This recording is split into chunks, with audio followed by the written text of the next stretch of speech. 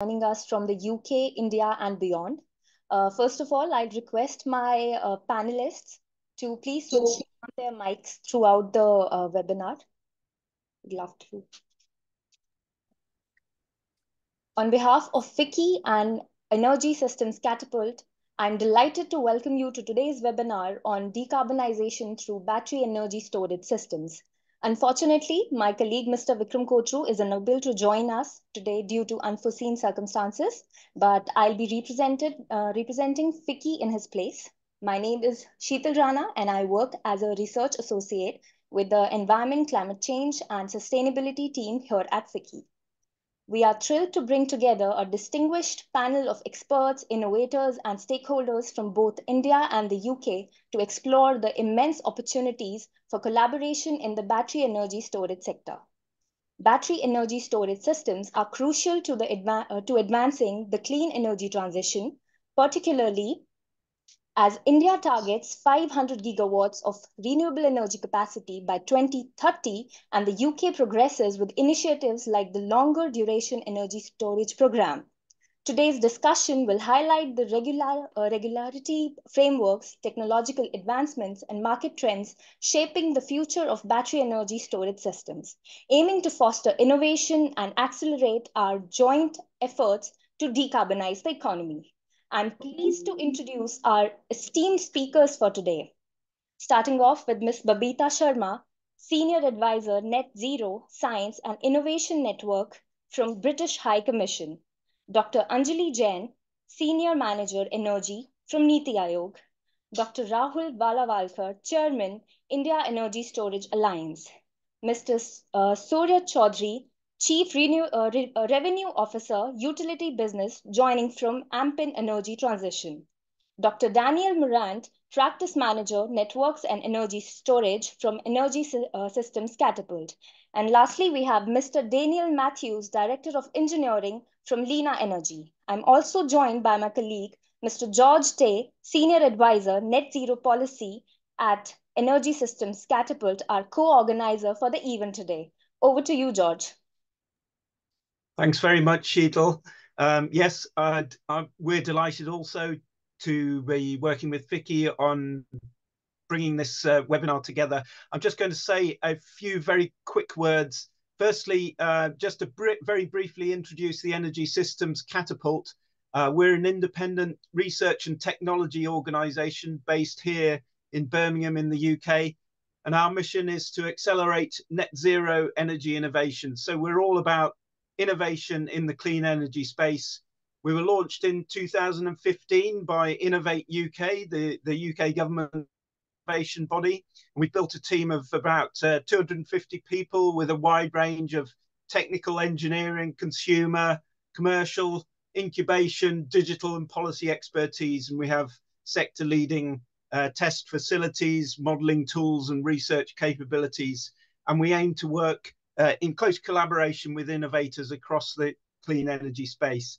Um, the innovation, uh, the Innovating for Transport and Energy Systems program, which this uh, this uh, webinar is part of, uh, is a partnership that we've been working on uh, over the last 18 months or so with innovators and partners in India, and we're aiming to um, promote collaboration to enable innovators to to enter the uh, amazing uh, uh, Indian market and uh, uh, take advantage of the opportunities, bring together expertise, set up pilot projects, test new business models, and promote collaboration across the clean energy space. Um, and this uh, this webinar is one of a series of knowledge webinars where we're aiming to promote partnerships, knowledge exchange, and make connections uh, between these two very important countries in the uh, clean energy transition globally. Um, okay, I think that's enough from from me. I'll uh, I'll hand back to Sheetal to to introduce the uh, the rest of the program.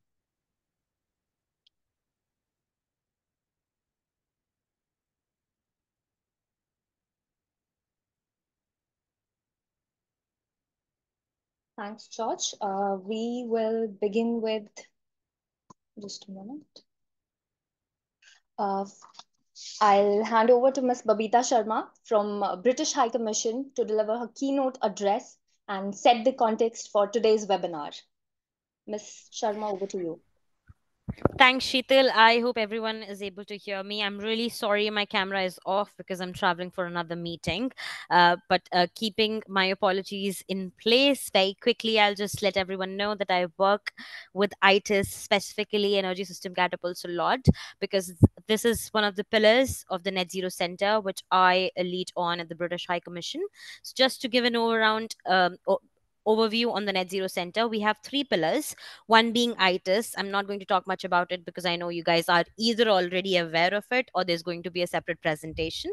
The second pillar is decarbonizing pharmaceuticals which is between um, uh, center of processing innovation uh, in uk and ncl which is national chemical laboratories in india together they've started um, a living lab uh, so that's the second pillar and the third pillar is basically all about hydrogen. So we're doing partnerships in, in the area of hydrogens between UK and India, especially with universities like University of Birmingham.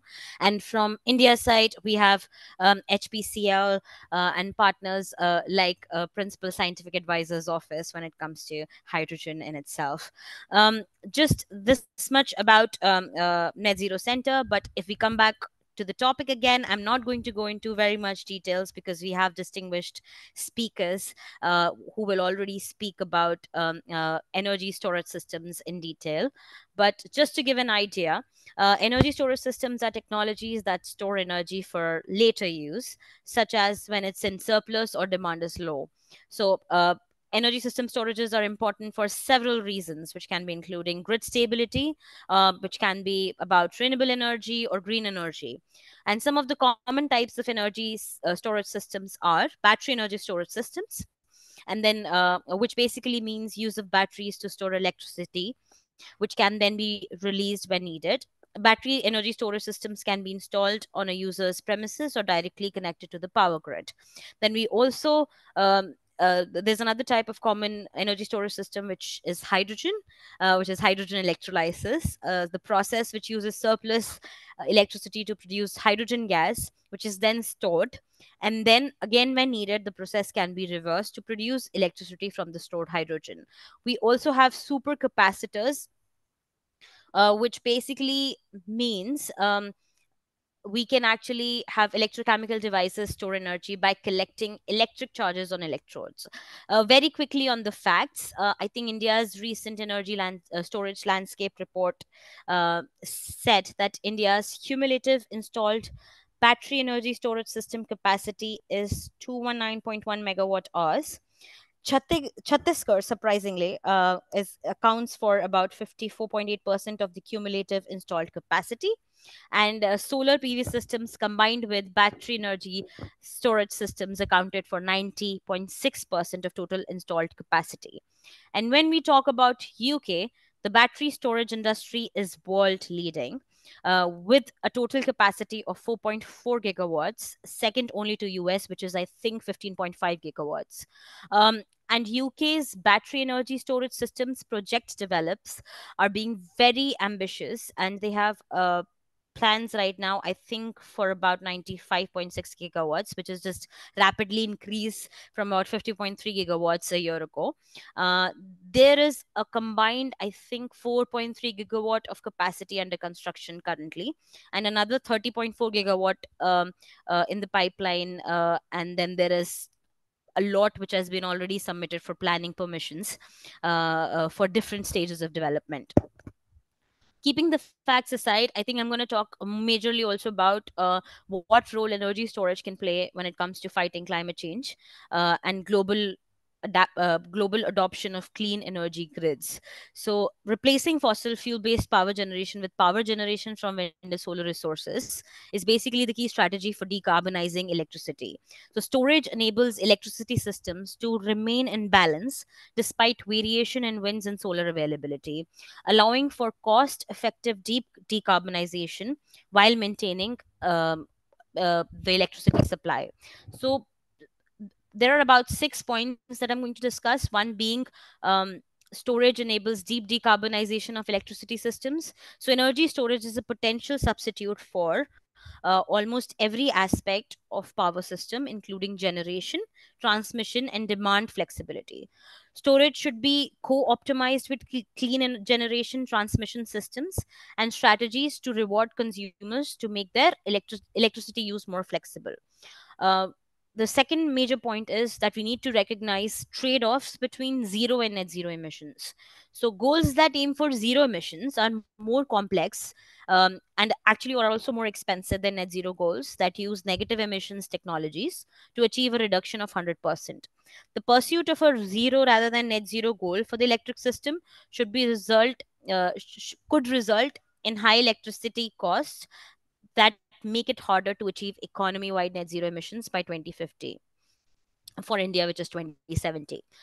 The third point is developing economy countries are an important market for electricity system i'm not going to go deeper into it because i know we will be talking about markets and projects but uh, just so that you know that developing economies like india is the market that we're looking for um, the the other point is that we need to invest in resources and leg- regulatory agency staff which is again very important uh, because we need to co-optimize storage with other elements of electricity systems coupled with certain climate change impacts on uh, demand and supply and uh, all the necessary advances in an analytical tools to uh, have sufficient plans and then operate and regulate power systems for the future long duration storage needs government support. As we all know battery energy uh, storage systems is accelerating rapidly but then these lithium lithium ion batteries um, are not basically idle for long duration storage.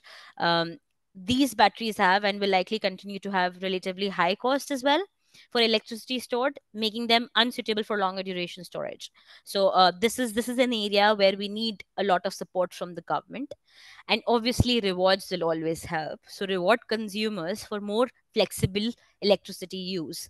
So uh, whether it's wind or solar generation the goal of decarbonizing other sectors through electricity electrification increases the benefit of ad- adopting pricing and load management options. That again will reward customers for shifting electricity uses with some flexi- flexible uh, ways uh, from periods when the balance between supply and demand is tight um, so i think that's majorly what i wanted to talk about when we talk about um, energy uh, storage systems in terms of net zero and climate change i will pass on to sheetal again i hope it was helpful and thank you so much and i'm really sorry for switching off my camera again Thank you so much, uh, Ms. Sharma, for setting the stage for today's discussion.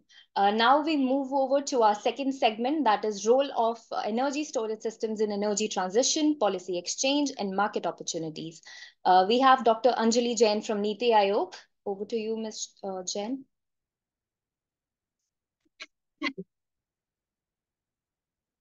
Yeah, thank you, Sheetal. Uh, I hope I am audible. Yes, we can hear you. Yeah, yeah, thanks. So first of all, I would like to thank uh, the organizing committee for inviting me here. Uh, inviting me here. Um, I would like to start my talk uh, with the current scenario, what is happening in India uh, regarding the decarbonization of energy sector and particularly the power sector and the transport sector, where uh, battery energy storage is gaining the traction.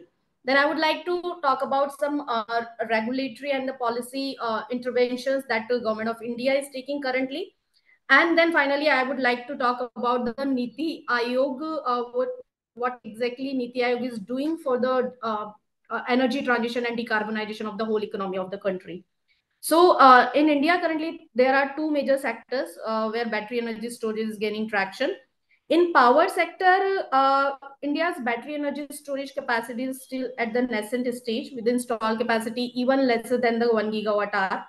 However, as we are uh, uh, uh planning for the more and more RE penetration for the decarbonization of the power sector, the requirement of storage will increase to provide the 24 cross 7 reliable power. Because as we all know that uh, renewable energy, which is like have huge potential in India, uh, solar and wind have some um, in, inherent current, uh, characteristic of intermittency. So if we are planning to phase out our coal power plant or phase down our coal power plant in future, there will be a requirement of 24 cross 7 power, which either can be met by the nuclear uh, uh capacity expansion, which again have some constraints of high gestation period, requirement of huge land, requirement of huge uh, safety zone area.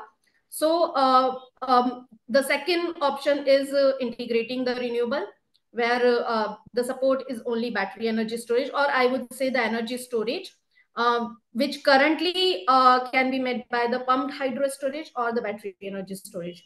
Um, the optimal capacity mix report of uh, uh, released by the Central Electricity Authority of India estimated a requirement of approximately 40 to 50 gigawatt of battery energy storage uh, by 2030 in their various scenario to support the grid with approximately 500 gigawatt of RE by 2030.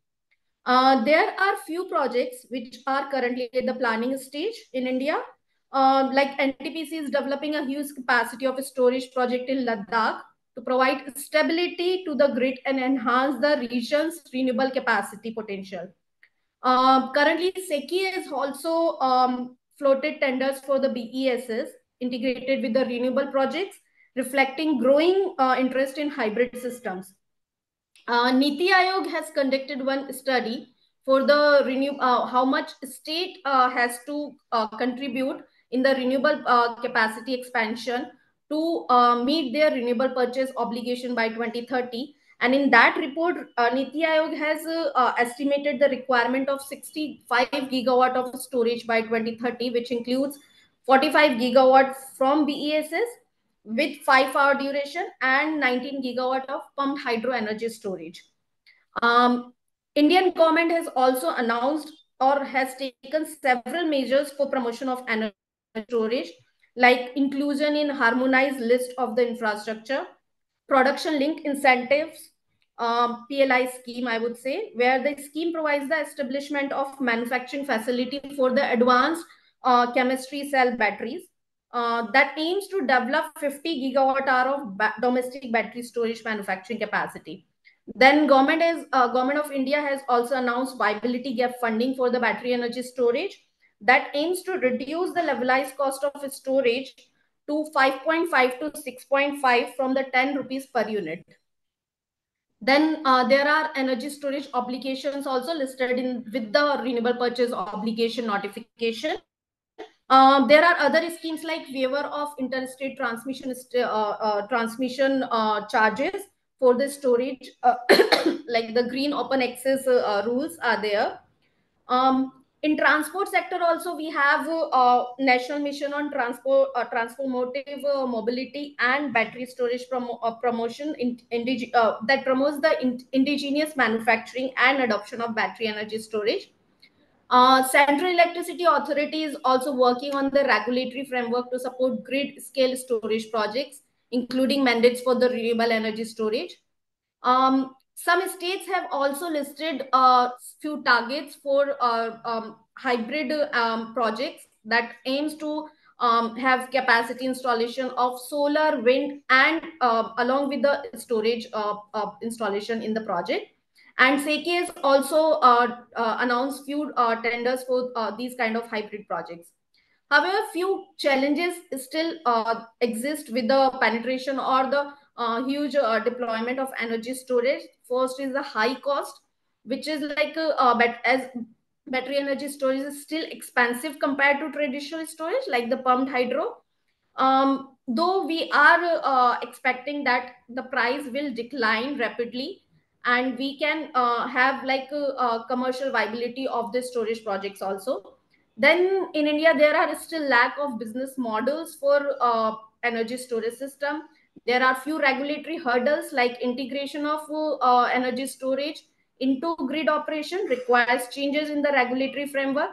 Uh, currently in um, India, what happens? Uh, it is dominated by the uh, electricity market is dominated by the fixed tariff, which do not provide incentive for the uh, deployment of the energy storage system. So framework like uh, changes in the grid code or um, enabling the uh, uh, or facilitating the ancillary service market in electricity market of India or providing um, a different kind of uh, tariff mechanism for the frequency regulation, peak shaving, and renewable energy integration that facilities can be provided by the battery energy storage can support its integration. Uh, one more major challenge for the India's clean energy transition is the availability of the finance. Uh, various studies of uh, uh, various research studies have put investment requirement for the net zero uh, energy transition of India um, that ranges uh, about like a dollar 10 to 14 trillion by 2070 in comparison to the current investment level which stands at approximately 44 billion per annum leaving a significant financial gap 83% of track financial flow in financial uh, year 20 uh, came from the domestic source with only 17% from the international sources. So uh, there is a huge um, um, requirement of the climate finance for the um, energy transition in India. If I talk about the future outlook of energy storage in India, energy storage market is expected to uh, grow significantly as a major element of the country's decarbonization strategy. As a um, currently a major element of the decarbonization strategy uh, uh, is demand electrification.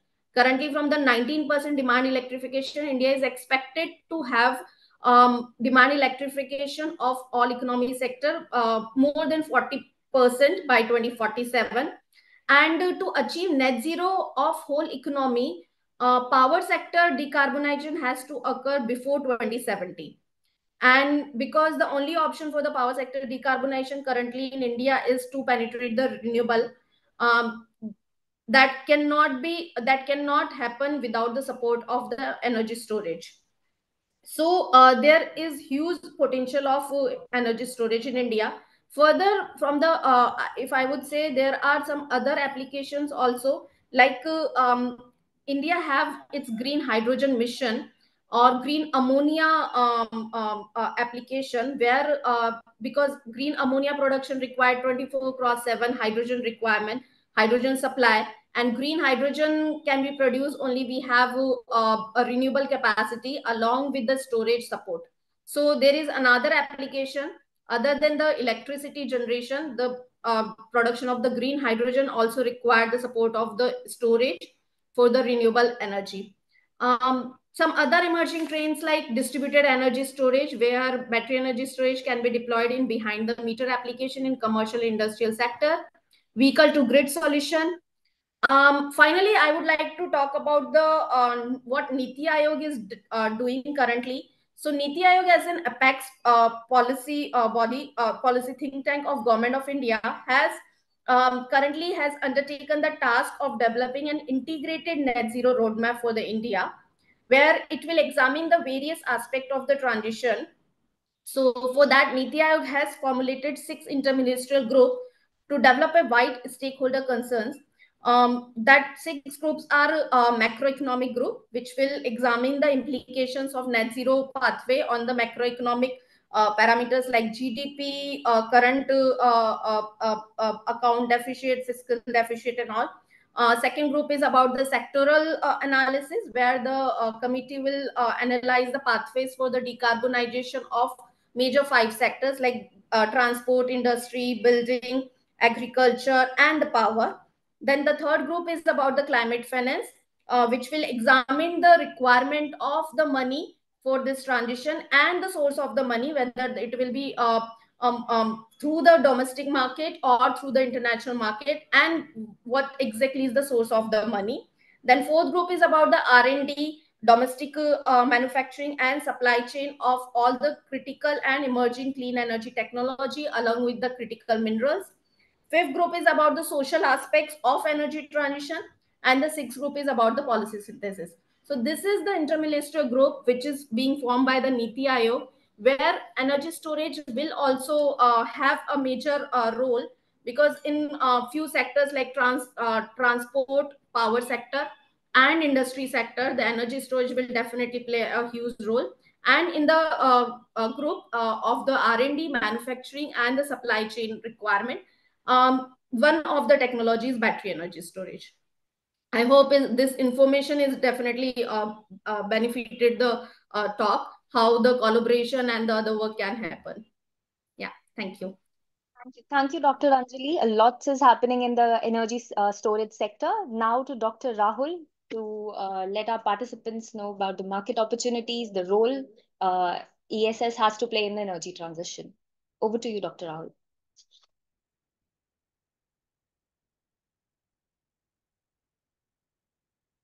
Thank you very much, Sheetal. I hope uh, everyone can see the screen. Yes, we can see the screen. Sure. So, uh, uh first of all, I'd like to thank uh, FICCI uh, for uh, inviting IESA for uh, this uh, interesting uh, roundtable. Uh, so, as the India Energy Storage Alliance was formed in 2012 for creating awareness about advanced energy storage and e-mobility technologies in India. And since then, we have made our vision to make India a global hub for R&D, manufacturing, and adoption of advanced energy storage technologies. And we have close to 190 members and additional 30 plus partners uh, from 15 plus countries. And uh, as you can see, uh, the uh, membership uh, uh, spans all parts of the ecosystem.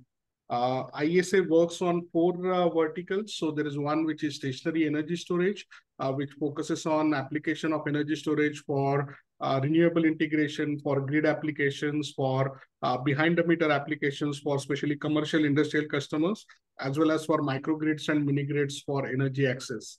Uh, the India Electric Mobility Council focuses on uh, e-mobility, EV manufacturing, EV component manufacturing, EV charging infrastructure, as well as battery swapping. Uh, the battery manufacturing and supply chain focuses on the gigafactories in India as well as associated ecosystem, not just for lithium-ion batteries, but for all the emerging and niche technologies as well. And then India Green, Green Hydrogen Council looks at synergies between electrochemical storage, uh, mechanical storage, and green hydrogen ecosystem, and try to see how we can learn from uh, some of the learnings from our last 10 decades of policy advocacy related to energy storage for making sure that we achieve some of the ambitious goals what uh, government is setting for green hydrogen transition. Now, again, uh, energy storage uh, uh, can be deployed at different scales at different locations. So uh, at kilowatt scale, it can be at household level, at megawatt scale, it could be at industries or uh, at uh, distribution substation, at hundreds of megawatt scale, it can be part of transmission or even at gigawatt scale, it can be a part of the solution for optimizing generation.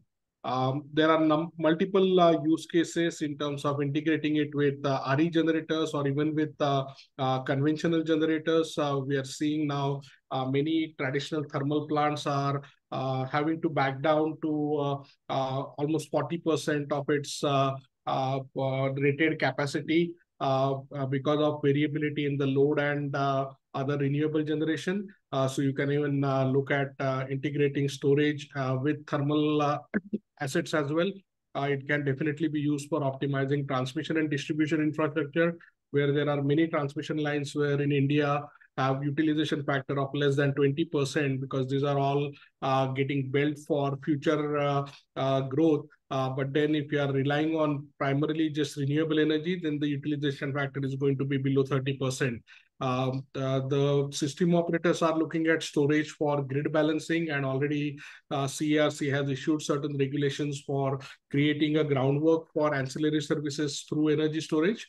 Uh, various discoms have started now exploring uh, use of storage for optimizing distribution uh, investments as well as uh, uh, providing certain services to the customers. And we are seeing a lot of uh, activities happening around India.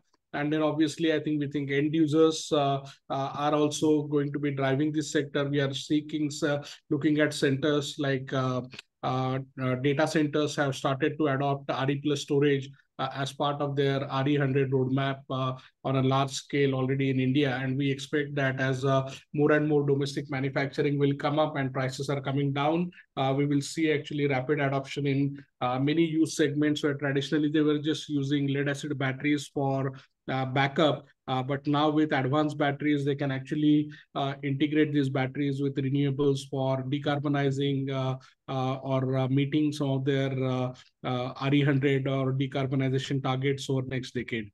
Um, now, one of the reasons why the prices uh, uh, are coming down is global manufacturing is scaling up. And what we have seen just in actually last one year, there has been substantial Uh, drop in prices, especially uh, uh, due to um, significant dumping happening from China. And we do expect that as global manufacturing capacity keeps on scaling up, uh, uh, we will see this trend continuing. And then again, sodium ion batteries also have uh, just started getting commercialized. and we do expect that by 2030, they could be also a, a good alternative for stationary storage in certain applications. Uh, now, in terms of the India policy thing, uh, uh, uh, Anjali ji already talked a lot about it, so I won't uh, repeat things. But uh, as IESA, we are working with almost uh, 10 plus ministries as well as with Niti Aayog on various aspects related to energy storage. And we are happy that various agencies, including MNRE, Ministry of Power, uh, Niti Aayog, CERC, CEA, all of them are taking uh, various steps uh, uh, for removing barriers for enabling storage. And this journey has been happening over last 10 years. And now we are also seeing significant activity happening at individual states uh, for integrating energy storage as part of their RE policies. Uh, in terms of the overall development, I think the national framework for promoting energy storage system is now issued by Ministry of Power. Uh, there are guidelines for pump storage projects is also uh, laid out. Uh, as Anjali mentioned, viability gap funding for 4 gigawatt hour is already approved by cabinet, although the actual disbursement of that has not yet started happening. Uh, and then resource adequacy framework by CEA, uh, that also is uh, laying out a very clear roadmap for annual addition of energy storage at different level. Uh, in terms of various tenders, we are seeing sort of a uh, steady progression and learning. Um, the, we think that the current format of both standalone as well as FDRE, which is uh, firm and dispatchable renewables, are very good frameworks. Uh, although we keep on hearing about round-the-clock tenders as well, uh, but we do think given the kind of uh, uh, variability which is there in the load, right now we don't see too much requirement from most of the discoms or customers for round-the-clock RE plus storage power, but uh, even like using four hour or six hour storage and uh, uh, shifting uh, renewable power and making sure that it is available during the peak time, uh, which is a model for FDRE. Uh, that itself, I think, is sufficient for at least next three to four years, and we expect a lot more tenders to come in in that format. Um, right now, there are more than uh, 13 gigawatt uh, uh, FDRE tenders are issued. There is additional 9 gigawatt hour of uh, standalone ESS tenders are also issued. So we do expect uh, that uh, within next two years, India will start getting featured amongst the top three countries globally in terms of BESS deployment. Um, also simultaneously, pumped hydro is also sorry. Uh, pumped hydro is something which is also uh, uh, getting support and uh, uh, especially companies like Greenko, which is a, a leadership circle member of IESA, has uh, done a lot of interesting work in trying to fast track the pumped hydro development because traditionally around the globe as well as in India, pumped hydro projects have taken anywhere from 15 to 20 years to get built. Uh, so that was a, a, significant issue for pumped hydro. But by uh, doing some innovative work in looking at off-river uh, pumped hydro sites and doing significant work in identifying such sites, Greenko is expecting to get these projects operational within three years, which will be almost a Guinness record anywhere in the world. Um, now, here are just a summary of various projects and tenders uh, during different stages. So some are operational, which are smaller projects. Uh, some projects are currently under bidding uh, and under construction. Uh, and some are still at tendering stage. But you can see that totally there is more than almost uh, uh, 15 gigawatt hour of storage tenders, which are currently in different stages. If you want to get more details on this, uh, India Energy Storage Alliance uh, maintains a, a, comprehensive database of all these tenders and uh, details about each of the tenders, which you can get access to in the members resource section on uh, indiaesa.info website. Um, in terms of the uh, policy uh, uh, gaps, I think we uh, uh, do welcome the announcement related to energy storage obligation, uh, but at the same time, there is a significant delay in operationalizing the energy storage obligation, and there is that ambiguity which is creating some challenges. Similarly, the viability gap funding, it generated a lot of interest, but it has been now almost a uh, year, year and a half since it was announced, but there is no operationalization of that. So that has also uh, caused some delays of certain tenders which got cancelled uh, after VGF was announced. So that's an unintended consequence of having supportive policies. Uh, on ancillary services, again, uh, the CERC has issued the new grid regulations in 23 as well as the ancillary service regulations, which allows energy storage to participate. But at the same time, in terms of creating a transparent price signal as well as assurity about the dispatch, uh, there are still some work and fine tuning which is required. So IESA is regularly interacting with CERC on that. Uh, uh, and then uh, firm and dispatchable RE is, I think, the way forward. In terms of going ahead, uh, we, we do expect there is still some require, work required in terms of taxes and duty reduction, uh, especially for non-lithium-ion battery technologies, because currently lithium-ion batteries have 18% GST, but other technologies are uh, at 28% GST. So IESA advocates that all storage technologies need to have similar uh, GST uh, treatment as it is provided for other renewables, which is at 5%. Um, uh, in terms of the timelines for various projects, that is uh, very crucial because I think in terms of the announcements and tenders, uh, we are doing much, much better. Uh, but the biggest hurdle for industry over the last five years has been cancellation or delays of many of these tenders. So we have urged Niti Aayog as well as uh, uh, Ministry of Power and MNRE to set up a committee to try to monitor these timelines and make sure that we don't have these delays around the world, energy storage is recognized as a Swiss knife where it can provide multiple services to the grid. Uh, unfortunately, the current set of tenders which are there in India, except for maybe a couple of tenders at state level, are mainly valuing energy storage only for the energy arbitrage or peak shifting application, and other services are not really getting valued. So uh, that is another reason why there is a slight delay in uh, getting some of these projects off ground. Uh, instead of just waiting for uh, uh, manufacturing price reduction, we need to make sure that uh, uh, these projects are allowed to capture all the value streams which energy storage brings to the table. Uh, and that will allow uh, um, much larger deployment even at the current prices. Uh, we are asking for very clear target setting because like what has happened with solar and other renewables, uh, we see that once not just a 30 or 5 year or 10 year target, but uh, a very clear annual roadmap, which is uh, uh, released as part of the target setting that gives uh, industry significant confidence. And that is the work which is currently pending. and we need to look at that. Uh, so last uh, but not the least, uh, as Anjali mentioned, uh, Niti Aayog drafted the ACC PLI scheme, which is currently being implemented by Ministry of Heavy Industry and that has generated lots of interest in domestic manufacturing. IESA has been advocating for domestic manufacturing since 2015 and has worked very closely with the uh, Niti Aayog team in framing the ACC PLI. Uh, and we see that thanks to the PLI uh, and uh, related work which has happened, uh, now IESA has actually set the vision of not just 50 gigawatt hour, but uh, India to get to 550 gigawatt hour of domestic manufacturing by 2035. So basically using the PLI as a founding stone and then uh, going ahead and uh, to at least 140 gigawatt hour manufacturing capacity by 2030 and 550 plus gigawatt hour by uh, 2035. Along with that, IESA is also working on uh, creating robust supply chain, domestic supply chain for uh, materials and uh, uh, intermediate process materials. And there we would love to explore any opportunity to collaborate also with UK, where India can become a supply chain hub for some of the giga, gigafactories coming up in Europe, especially in UK, for both lithium as well as sodium or other alternate technologies. I think there is a lot of export uh, export potential available, and as IESA, uh, we are happy to collaborate with UK and uh, other partners uh, for bringing the industry collaborations forward. So with this, again, I'd like to thank Sheetal for opportunity to share these uh, insights and both mine and Debi Dash, who is the uh, executive director and president of IESA. Our contact details are here on slide and I'll be happy to share the slides if it helps. Thank you.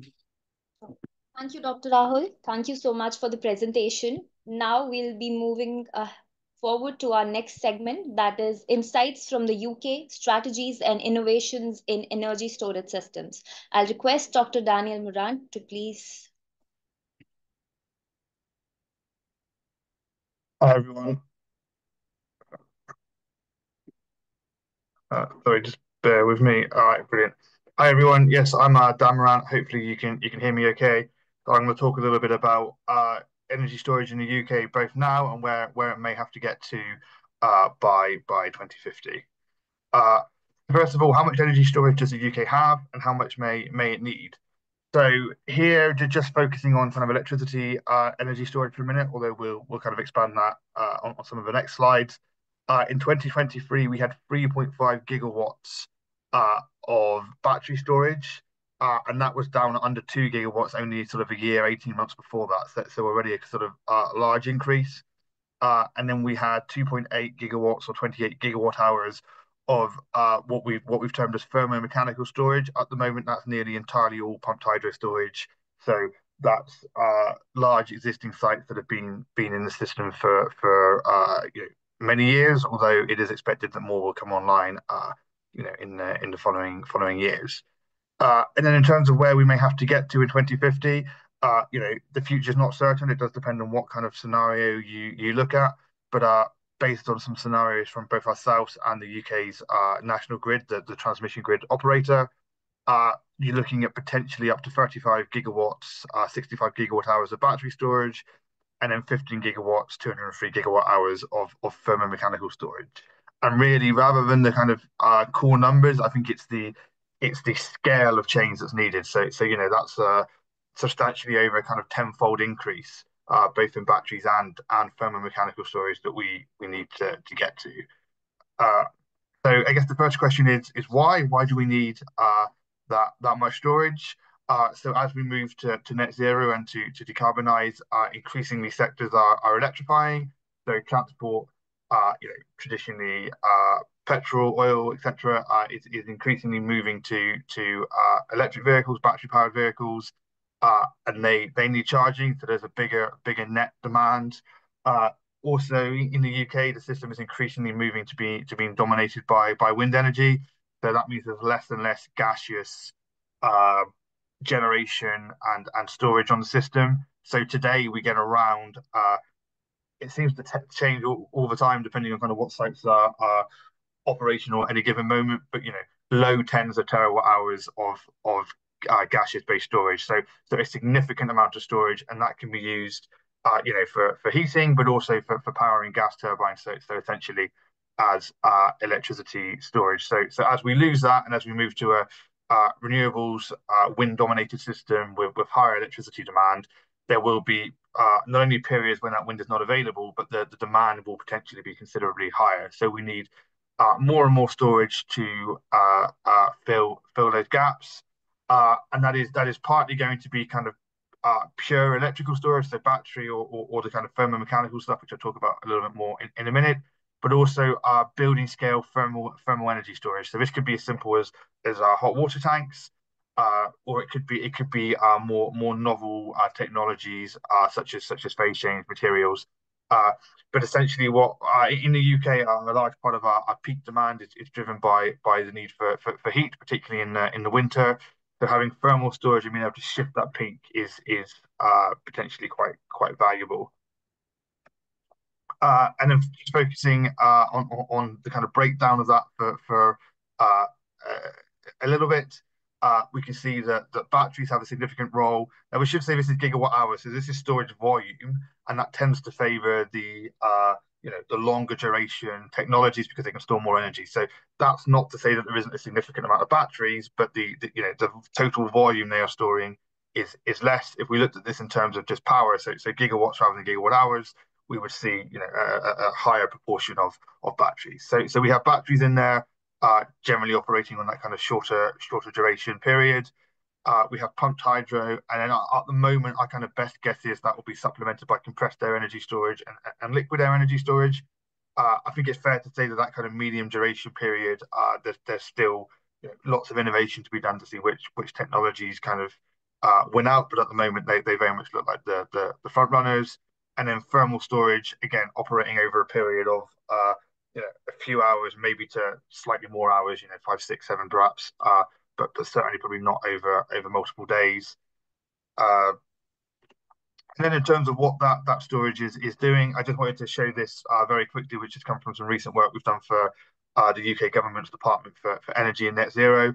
And without going into too much detail, essentially for each network level, but this, this focuses on the transmission level, we are trying to look at what services required and what technologies could provide them. And I guess what I really wanted to draw from this is that there are lots of services that, that need uh, you know, flexibility service, that need storage or other forms of flexibility. And there are lots of technologies that, that can provide them. Uh, once you start looking over all the network levels and behind the meter, you actually end up with over kind of a thousand individual combinations. Uh, and the point is, there's no single technology or single vector that will be able to meet all the services at all the network levels that are uh, needed. Uh, so, so it's about having a, a, balanced and mixed kind of portfolio of energy storage and, and, flexibility technologies. And then just to dive into some of them kind of more core ones uh, from that kind of broader set, uh, you've got sort of general uh, within day balancing of renewables, uh, which will be electricity based, quite uh, you know probably probably batteries, and that can be things like fast demand response. So, you know, if there's a sudden shift either in uh, a sudden increase in demand or a sudden uh, drop in in uh, generation, then you know, being able to manage that uh, very very quickly. And similarly, reserve over a period of hours. You wouldn't expect batteries to be providing reserve, you know, for a sustained period for you know, days, but for a, a first few hours after that kind of unexpected event has happened, they, they've very much got a got a role to play uh, and then also peak peak shifting. So so I'll share a chart in a minute that kind of shows the the sort of daily variation in UK demand and, and how we can shift that that peak away uh, to to lower the sort of net or, or yeah, maximum kind of generation capacity that is is required, and then obviously lowering lowering costs. Uh, again, heat heat storage. Uh, so so peak shifting. Uh, so very much part of that that within day. Uh, and then again, peak shifting potentially, uh, you know, hours, uh, again within day. Uh, EV smart charging will have a real role to, to play in that. Uh, we've again I'll talk about it a little bit more, uh, but we've seen significant uh, potential to, to reduce demand through uh, smart smart charging. Uh, then you get into sort of balancing, uh, but over over a period of a day or, or you know, several days. And again, that will be electricity storage, but maybe your your sort of longer duration stuff, so the pumped hydro, liquid air, uh, redox flow batteries as well, you know, very much in there, although although they were kind of classed as batteries uh, uh, earlier. And then the the final one, which I haven't really talked about, but I do think it's important just to to kind of raise, is uh, seasonal peak demand. So the uh, UK energy demand is very seasonally based because it's driven by that heat demand in the the winter. Uh, uh, and, and, having a system that a can respond to that kind of increase over the whole the whole season, but also that is there for kind of uh, you know contingency for market shocks, uh, you know, for, for, for resilience, uh, because that's going to involve storing lots of energy for a long time perhaps not using it very often, maybe only using it for a few weeks, a month in, in, in winter, maybe even storing some of it for, for a few years. Uh, you know, that really can only be kind of gas based. Uh, obviously, natural gas uh, would you know wouldn't wouldn't meet our, our kind of emissions targets. So a hydrogen uh, or uh, a kind of derivative of hydrogen, uh, again, looks like a a likely option.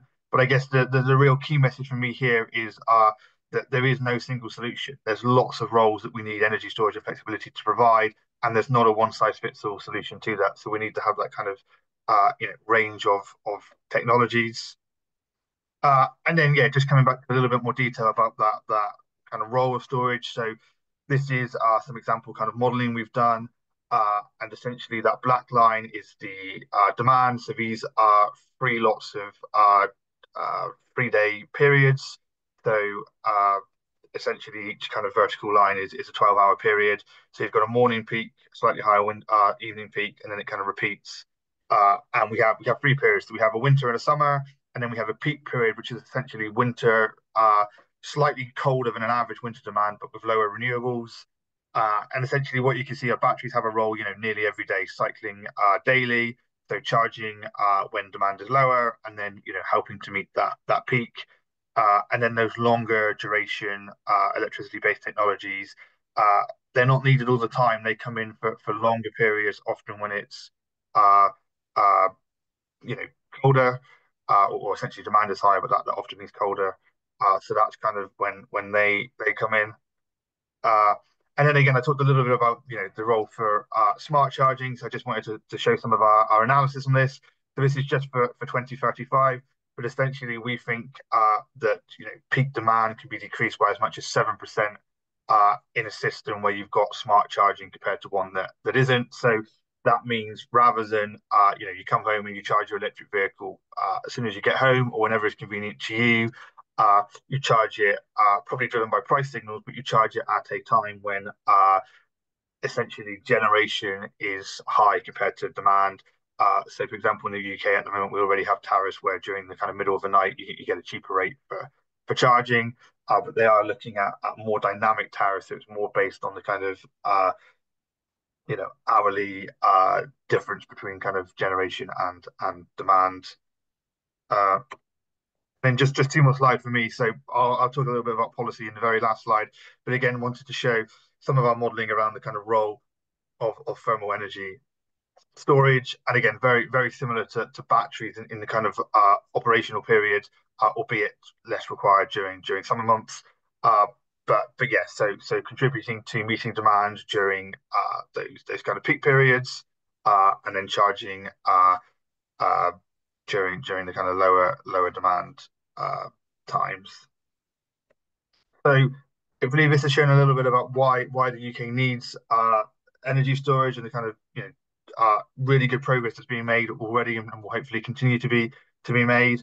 Uh, but I just wanted to show a final slide on what you know what what can what, what can be done to kind of uh, you know continue continue with that progress. So uh, some of the some of the barriers that we that we face in the UK is the lack of sufficiently kind of granular uh, operational signals, both in terms of time and, and location. So you don't need flexibility uh, to the same degree everywhere, and obviously not at the same the same time. So how do we have price signals that really incentivize uh, flexibility when we need it, and really sort of values that are you know ability to shift demand at different periods and also in different different locations.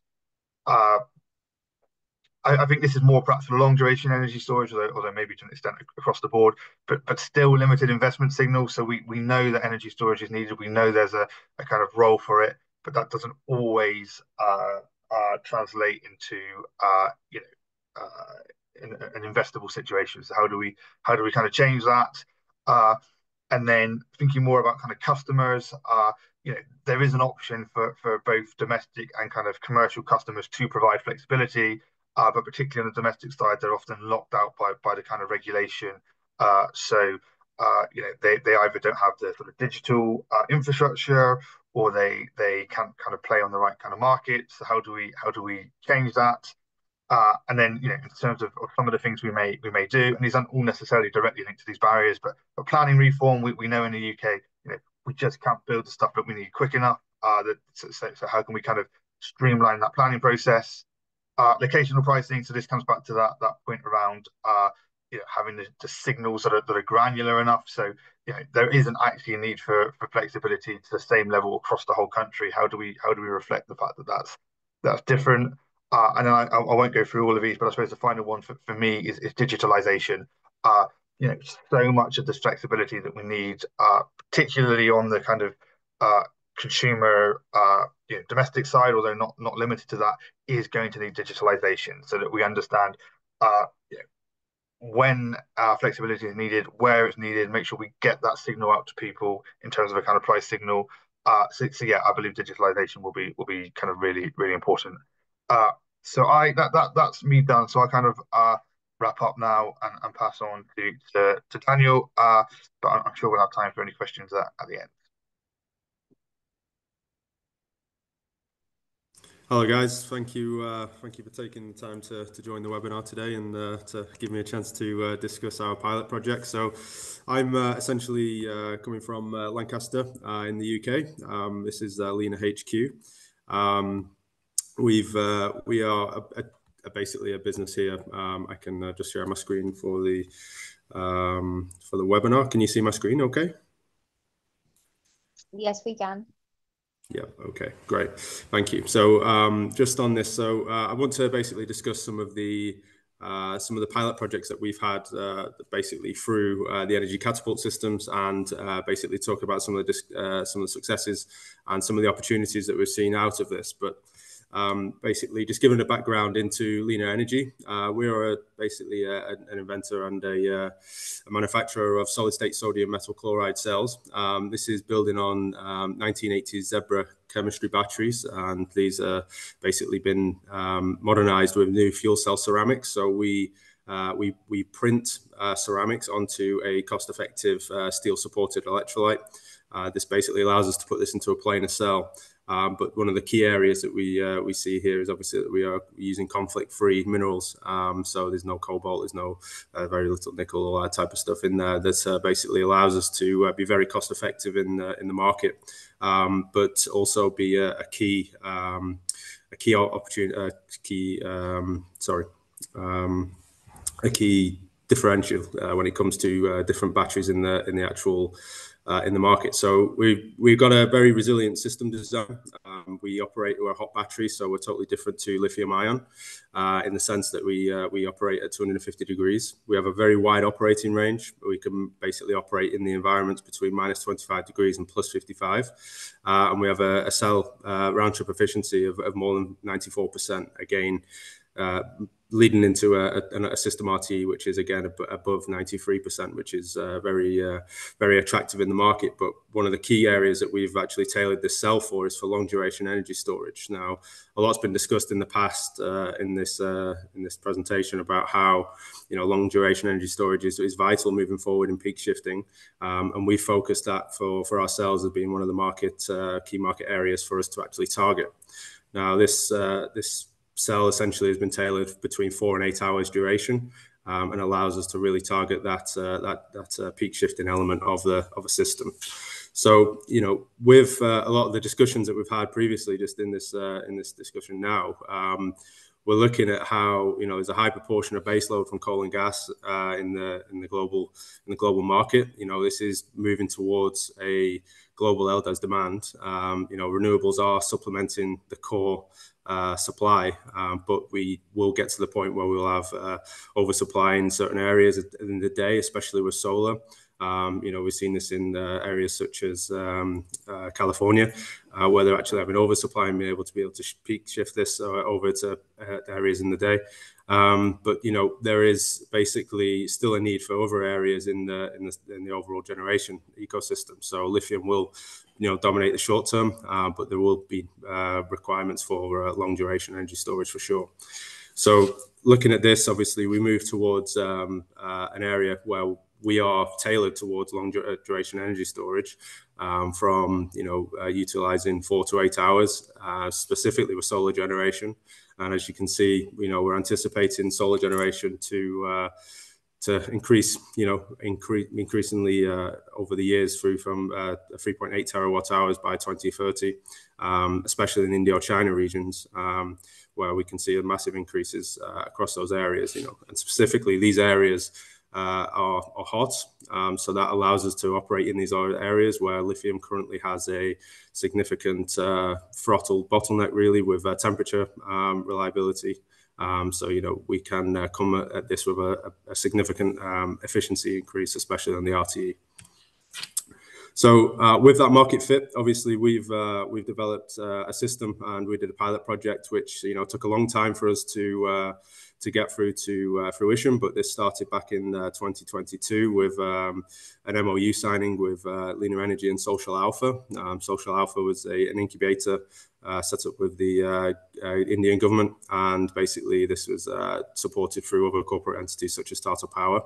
but you can see here we also signed, I think this was last year, we signed an agreement to uh, bring in some um, some uh, pilot projects for uh, through Tata Power specifically, and this was in conjunction with the um, with the catapult system and ITES to basically to, deliver this with some joint funding between India and the UK.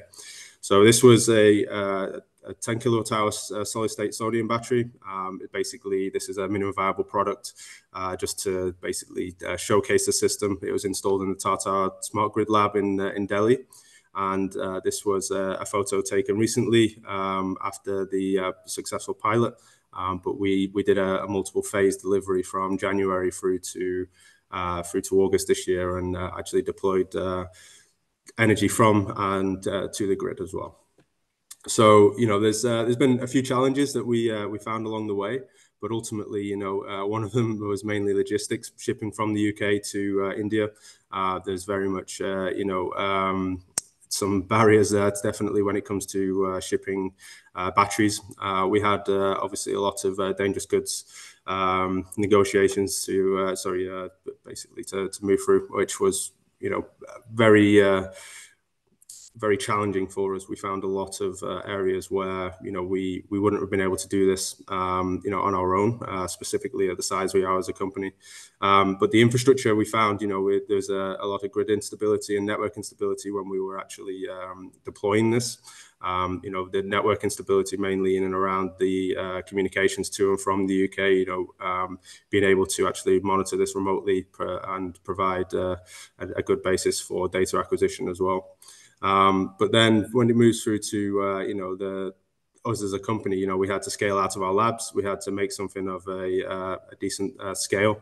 And, you know, we had to actually start making batteries on a consistent basis and putting them into a pilot project, which was going to go into an end user. We phased our SAT to obviously de-risk and keep hold of the scope. Um, but ultimately, there has been a lot of benefits from getting our batteries onto uh, Indian soil, obviously deploying them as soon as possible, and then phasing the uh, the capacity expansion from that point. Um, and then obviously the challenges, just the speed of business. As I, as I've already mentioned, we we started these discussions early in 2022. They take a long time to to develop and nurture. And, you know, hopefully I'm not um, teaching people to suck eggs here when, you know, it's uh, it's all relationship-based and, you know, trying to find our feet in the uh, in the Indian markets. You know, it couldn't have been done without the uh, without the traction that we made early on and uh, supporting, obviously, other businesses supporting us all the way through. So, you know, we got we got a lot of benefits from uh, from doing this pilot project. Ultimately, um, we got we got a lot of credibility and integrity. You know, we got our foot in the door in a key market with a key market leader in Tata Power. Um, but also, you know, we got onto the Indian market, which we've uh, highlighted as a as a key area for us to uh, to target, especially with, you know, the large generation of solar in the future, the large emphasis on battery storage and being a, you know, alternative solution to lithium-ion in the LDES market, Um, giving us, you know, this global presence as well, specifically when we're looking at these hotter regions where lithium-ion will be uh will be throttled by the ambient conditions around it. So, you know, it's definitely a proof of product and market fit uh, for us um, in the Indian market, and it was uh, a key area for us there. But not only that, we got, uh, you know, we got a competitive advantage by being able to uh, to deploy this um, specifically uh, with Tata Power, who are crucially looking into the generation of battery storage.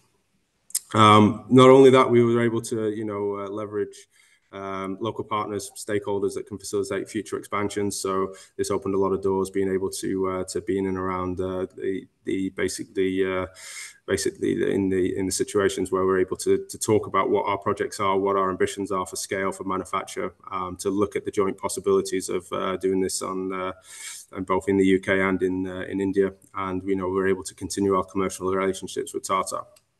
So it was very uh, very fruitful there uh, in terms of the benefits. But lessons learned, definitely, you know, logistical uh, elements of this were were difficult, um, along with, you know, being able to ship from the U.K. to India. And, you know, through the help of the Catapult, we were able to leverage uh, local logistics partners, and they were crucial for us uh, within the India region. Um, you know, they're able to alleviate a lot of bureaucracy when it comes to uh, customs, you know, both imports and when we're looking to bring it back now, the export of those batteries back to the U.K. Um, understanding those cultural nuances, you know, is uh, is very specific for us. You know, we we actually had to have somebody go to the the customs and and discuss, uh, you know, the release of the the batteries and, um, you know, make it uh, a lot more seamless through to delivery. Um, again, you know, de-risking the whole situation, we had a phased delivery approach. You know, we installed one battery pack, and, you know, this included the systems, testing the systems to and from the U.K. And then we increased the capacity throughout. But not only that, it allows us to set the expectations for for the stakeholders, you know, a lot of uh, a lot of companies when they sign MOUs don't necessarily deliver, um, and you know it's more mainly just for marketing or uh, uh, a ploy to um, you know to showcase that you know something has been signed. But it's crucial that you deliver, and you know that credibility and integrity that comes with that um, really was uh, focused in on um, our phase delivery. Um, again, not uh, necessarily stating the obvious, but you know, understanding the business culture is key. Uh, UK India, you know, relationship based um, and hierarchical respect was definitely emphasised throughout. Negotiations can be lengthy, um, but you know, we we put a lot of weight, and um, you know, we we relished a lot of the uh, the benefits that came out of that. Taking you know, um, and a real good understanding of the, the key business environment around us was uh, was, was really key to to making this a success. And you know, not only that, it gave us a lot of opportunities to uh, move on. The credibility gave us to look at larger scale projects. You know, so we're looking at 100 kilowatt hours and beyond. Um, you can see the, on the photo here, we're, we're looking into uh, containerized systems. And not only that, we can start looking at manufacturing opportunities, uh, specifically in the India region, to help us on our scalability and uh, cost down reductions. And again, moving into uh, additional commercial agreements and additional funding possibilities um, with uh, with with big organizations and uh, you know corporates that were a key to to making this a success. So again, thank you for uh, taking some time to uh, to, uh, to, to to to listen to me on the on the discussion here. I hope you've got uh, any questions. I can answer them at the end for you as well. Thank you, Daniel. Thank you. Thank you. Uh, we are running slightly behind schedule. I'll have to rush to the next segment, Indian Industry Insights, current ESS projects and future opportunities. Over to you, Mr. Chaudhary. Um, I hope my screen is visible. Yes, it's visible. Uh, thanks, Sheetal. Uh, good afternoon, everybody, and uh, uh, good, uh, good, morning to my fellow panelists from the UK. Uh, some very interesting insights uh, shared by uh, my uh, panelists, and I am here to uh, give a, a, a, overview of the industry uh, insights and how they shape up in terms of the overall market size right now and future growth opportunities. Uh, hello, everybody. I'm Shaurya Chaudhary, and I am representing AMPIN Energy Transition. So just to give you a brief uh, background, we are one of the uh, leading renewable energy IPPs in the country. And uh, as on date, we have a 4 gigawatt peak uh, balanced portfolio across commercial, industrial, as well as utility customers.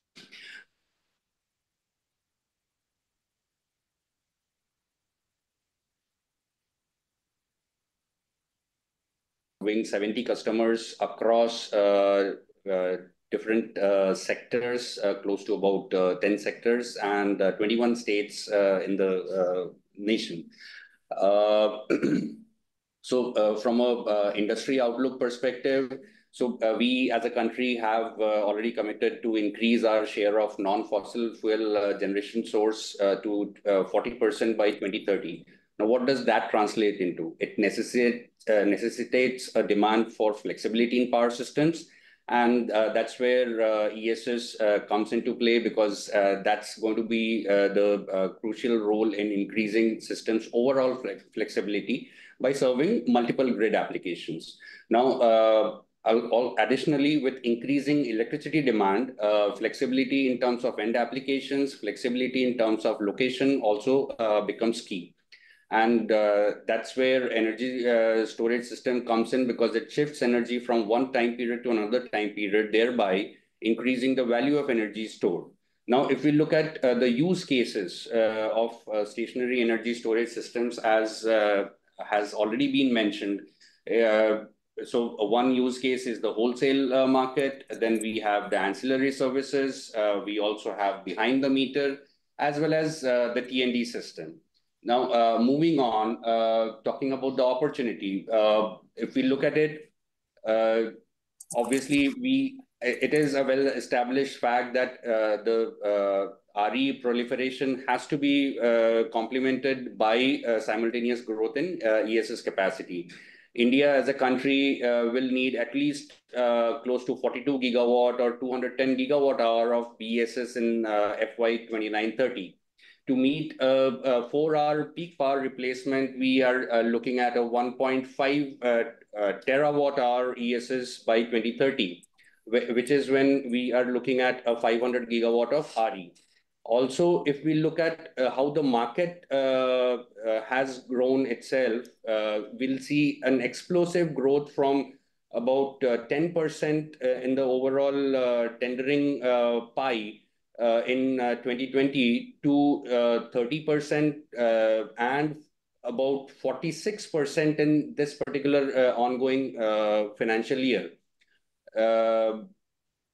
It goes without saying that the decreasing battery costs have certainly helped in boosting that adoption. Moving forward, uh, policy and regulatory drivers uh, that are uh, that exist on both demand as well as at the supply side.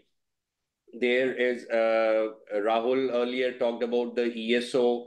Then there's this mandatory 5% ESS participation. Uh, Anjali uh, uh, talked about the ISTS waivers, the VGF. Also, the REIAs have come up with guide for competitive bidding guidelines. BESS is allowed in to participate in secondary and tertiary ancillary markets. And as mentioned earlier, energy storage has been identified as a champion sector and included in the harmonized group of infrastructure. Also, a separate policy to promote uh, pumped hydro uh, has been announced in uh, this year's budget, and a draft has already been shared by MOP. Moving on to the supply side, we heard about the PLI scheme of ACC battery. Also, there's this critical raw element, raw minerals auction that's happening. Uh, there is a PLI scheme for uh, raw mineral mining. Uh, various state governments have come up with incentives and subsidies. There is an exemption of customs duty in critical minerals mission. And the ministry has also a plan to design a PLI scheme for battery recycling to boost the overall circularity. This has resulted in the growth in market opportunity, which uh, we will uh, see. So what are the various uh, tender types? One, we are talking about peak shifting. Second, we are talking about RE/RTC. Third, we are talking about firm and dispatchable RE. And then there is this standalone ESS portion.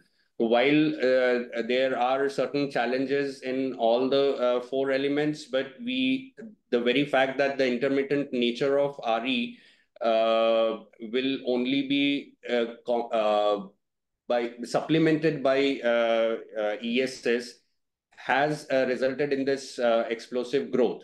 Now, if we look at uh, some numbers, up to 2022, we are looking at a 7 gigawatt-hour uh, of uh, tenders being out, which has already increased to 50 gigawatt-hour in 2024. Moving on, we will see how BESS standalone tenders have literally gone through the roof. From a 0.04 gigawatt-hour in 2022, we are already talking about 9.54 gigawatt-hour uh, by uh, August earlier this year. Uh, similarly, FDRE tenders from a 1.5 gigawatt in 2023, we are looking at 16.4 gigawatt-hour within a year or so. Uh, now, if we look at uh, how the tariffs have uh, gone down and thereby improved the acceptability of such solutions by the end off-takers, we are looking at a reduction right from 11.25 rupees to about 3.81. And obviously, the acceptability has gone through the roof. So every uh, element of the value chain uh, is uh, coming in sync or is fitting to move this entire driver into the next orbital growth. the, if we look at uh, the tariff trends of RTC and FDRE, we will uh, look at, we will see a five and a half, I mean, somewhere between a three and a half to five and a half, depending on uh, different uh, tender types and tender specifications. Now, talking about uh, future opportunities, these are the broad uh, seven areas where uh, we can look at uh, opportunities for ESS. Number one, grid stability and flexibility, which is essential for enhancing the demand fulfillment ratio. Uh, number two, green hydrogen, uh, ensuring reliable operation of electrolyzer. I'll also add on the green ammonia part, which Anjali had mentioned.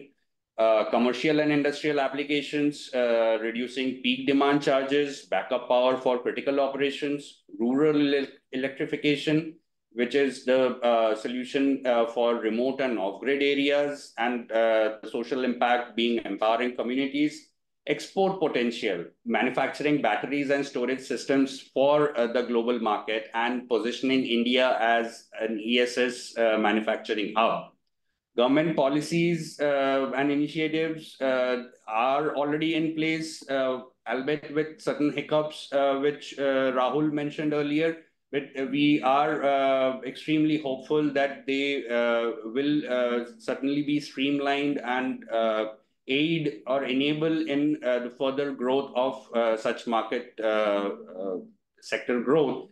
And we do see immense uh, interest from uh, institutional marquee investors uh, in this particular segment of the overall decarbonization framework. So with that, I hand it over to Sheetal and would be happy to take any questions. Thank you. Thank you, Mr. Chaudhary. Uh, your slides were not moving, so I think our participants missed on. Oh, okay. No worries. Hope, hopefully we can send it across to them later. Certainly, but, certainly. Yes, thank you so much. And uh, now we move ahead to the Q&A uh, section of the webinar. I request the participants to please uh, post their questions in the chat. And please, uh, I would request you to uh, write as well who they are directed to.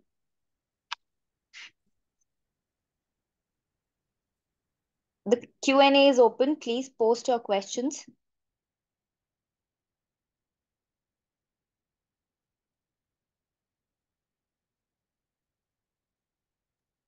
Hi, Sheetal, couple of questions I already answered, but uh, should we repeat those uh, for our benefit of others or?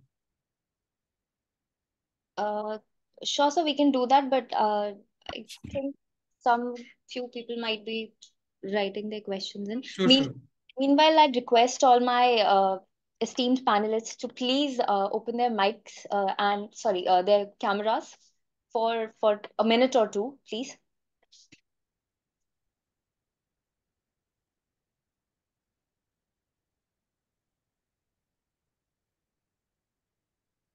So Amit uh, Roy had asked me a question about uh, India does not have the raw materials. So can India really get to gigawatt hour manufacturing. Uh, so I've answered it, but basically even China does not have most of the raw materials for which they make the batteries. So China gets the raw materials from around the globe, processes those, and then makes the batteries. India needs to do the same. Um, uh, so India has very strong partnerships with uh, Australia, with South Africa, as well as Indian government has created a separate company called Kabil, specifically for exploring minerals for uh, both EV and battery manufacturing. And uh, they have already signed partnerships with uh, Argentina, Bolivia, and other countries who have the minerals. So the key thing what we need to focus now on is uh, scaling up the uh, chemical uh, processing industry and that's where India has a very strong capability and we have been pleasantly surprised that India has already more than 50 companies uh, have uh, gone ahead and invested in the supply chain for anode, cathode, uh, electrolyte, separator, and other areas. And that's actually one of the fastest growing um, investment uh, within the energy storage uh, sector in India. Uh, while there are 10 plus gigafactories are also getting built, but the supply chain side, there are 50 plus companies who are investing in that. And we are very confident that uh, we can not just develop the supply chain for the Indian gigafactories, but India can also actually support and export to other friendly countries like UK and uh, help uh, them as well uh, by building this uh, ecosystem. Yes. Uh, I think Dr. Asmita Marathe uh, has a question. She has raised her.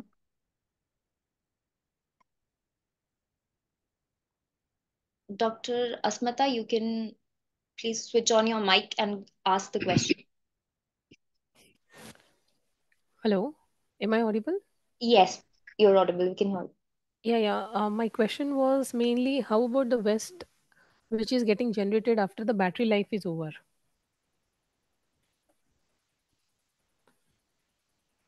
Sure. So uh, I can answer from the ISA side. So ISA already since 2019 has an initiative called IRRI, India Reuse and Recycling Initiative, where both for EV as well as for stationary batteries, we are focusing on the uh, building the recycling ecosystem, but especially for the EV batteries, we are also looking at uh, secondary usage in a safe manner. Uh, so we are working with agencies like UL, uh, Bureau of Indian Standards, to make sure that India does not end up becoming a dumping ground for second life batteries, but we can actually develop a robust ecosystem around that. And there are already more than 15 companies in India who are investing into setting up the recycling framework. In fact, right now, India has to import the black mass for uh, processing uh, because uh, some of these deployments in India had just started and many of these batteries will have uh, somewhere around uh, five to 10 year of life in its first use. So the actual recycling volume will scale up in India only after 2030. Uh, but already there are uh, uh, 15 plus companies, including likes of Lohum, Rubamin, and others who have started investing in setting up this infrastructure in India. So we don't expect any significant issue in recycling. In general, even lead acid batteries around the globe have shown the path. globally, lead acid batteries has more than 98% recycling. even in India, you may be familiar that whenever you um, replace a battery, usually the vendor itself uh, collects the batteries. Um, uh, Ministry of uh, Environment and Forest, they have already come up with updated uh, battery handling rules, uh, which take care of this. And there is an environmental, uh, there is an extended producer's responsibility, which is defined. There is still some fine tuning required in terms of uh, what's the cost uh, uh, for that and other things. So those fine tuning are happening, and we have a dedicated person, Shreya, who leads this area. Uh, uh, for uh, recycling. So we are pl paying very close attention to this and Niti Aayog also has been doing a lot of work in this area in coordinating activities, especially for, for the circular economy. Another question we have uh, received in the chat box is the battery energy storage system comes in various capacities of 2R, 4R, 6R. How will this evolve in next 5 to 10 years? And will some of the capacities be dropped as the battery manufacturing cost declines? So uh, anyone from the panel would like to shed some light on this? Yeah, so the way I see it is that uh, most of these chemistries can do longer duration, but it is more, more of a question of economics. Uh, so when lithium-ion batteries were costing more than $1,000 per kilowatt hour, people were looking at lithium-ion batteries primarily for only uh, 15 minute or 30 minute applications as the prices started going below $1,000, started getting to $700, then it started going beyond one hour when the prices came below $500, it started getting deployed at two hour applications. And as the prices have come down below $300, four hour became viable. Uh, and now we are seeing prices going down to $150 or possibly even by end of the decade, getting under $100. So I think that's a benchmark which all the other technologies also have to keep in mind uh, because there is no technical restrictions on lithium ion as a long duration storage technology. In fact, uh, like most of the chemistries, lithium ion also, if you actually uh, deploy it at a slower charging or discharging rate can have a better life. Uh, at the same time, there are certain other technologies like flow batteries, which have an inherent adv advantage that there the energy and power capacity is decoupled. So you can just build a bigger tank of electrolyte and just add more electrolyte to get uh, longer duration. But right now, those technologies are still in early stages of commercialization. So they have a cost disadvantage against lithium ion. Uh, but again, um, we are quite optimistic uh, that especially uh, sodium ion could be one technology which can be scaled up faster since it can use similar manufacturing uh, lines as in uh, lithium ion. Uh, but then other technologies also, if they scale up in manufacturing, then the market is quite open. And in fact, thermal or other form of uh, storage technologies will also play a key role uh, as we start looking at longer duration storage applications. We have uh, companies who are like Energy Dome, uh, who are looking at sort of a compressed air energy storage, but with above ground sort of a flexible tanks. Uh, so there are a lot of innovation happening in this area. Uh, so as the technologies get commercialized, you will start seeing more competition uh, for um, beyond six-hour storage.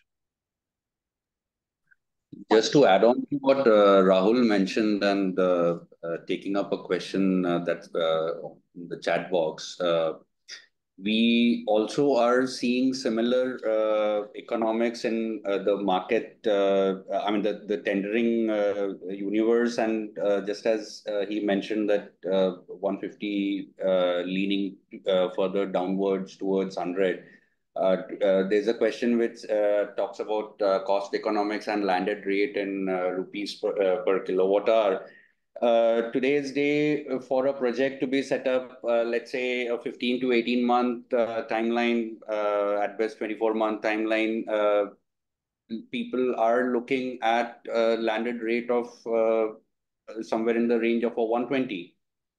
And talking about, I mean, if I look at standalone ESS as a service, we recently had a GUVNL as well as a SECI tender where the uh, prices are hovering close to uh, 4 lakh per megawatt per month. So uh, yes, uh, I uh, completely concur with uh, Rahul that these reductions will further help in proliferating the acceptance and the adaptability. Thank you. Another question we have in the chat box is how do you see sodium ion technology as alternative of lithium ion in energy storage space?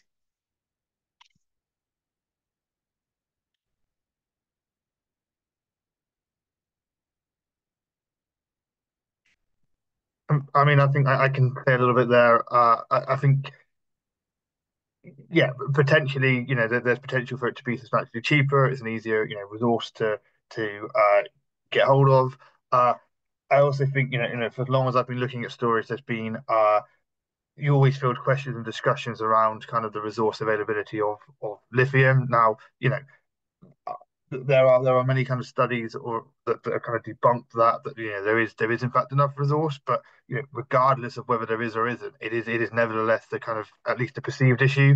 So I think again, you know, if if if it is possible to move to to sodium ion, then yeah, there there are some kind of real benefits to to be had.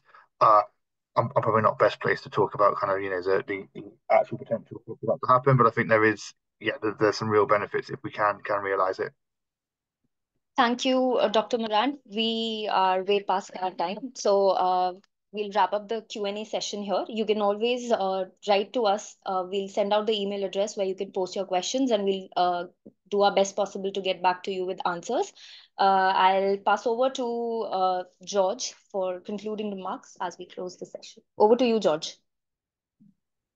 Thanks very much, Sheetal. And uh, thanks very much to all our speakers. It's been a really fascinating session this morning. Um, we will uh, do our best to pull together all the slides and share the materials to all participants. Uh, and as uh, Sheetal said, if there's uh, any further questions, we'll uh, we'll attempt to pick those up as, as best we can. Um, I think today's session has just demonstrated the the pace at which things are moving, the the massive potential that there is, um, and the scope for knowledge sharing partnership uh, and uh, commercial uh, innovation collaboration between the UK and India in the battery energy storage space. Um, so that's really exciting, and I hope uh, this morning has uh, and this afternoon, sorry for Indian participants, has has whetted your appetite for that. Um, so uh, we look forward to to further collaboration and and to um, to uh, potential uh, collaboration coming out of this. Uh, do uh, stay with us um, uh, and look out for further materials coming out of the ITES program. We'll be running more uh, webinars in the future, which may well be of interest to many of our participants today. so thank you very much to, to everyone and um, ha have a good evening. Have a good rest of the day. Thank you. Bye-bye. Thank you. Thank you.